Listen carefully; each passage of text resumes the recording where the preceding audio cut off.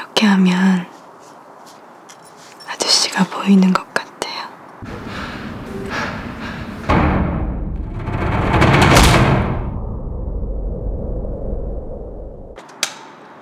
그녀가 우는 소리 내 가슴에 울린다. 잘생겼어요? 안 보인다고 뻥치지 말고 나 서른 살이고 건투했었고 그리고 어렸을 때 아주 나쁘게 살았어요. 근데 지금은 그렇게 안 살아요.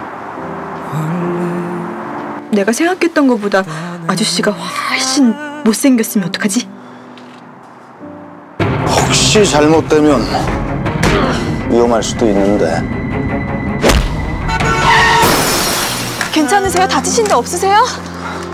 말하지 말아요